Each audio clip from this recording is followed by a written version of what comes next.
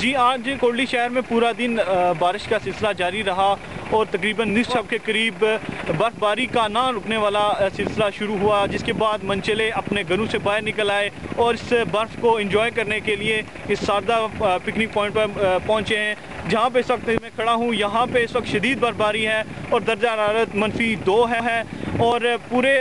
ये कोल्डी की तारीख में तकरीबन तीस साल बाद शहर के अंदर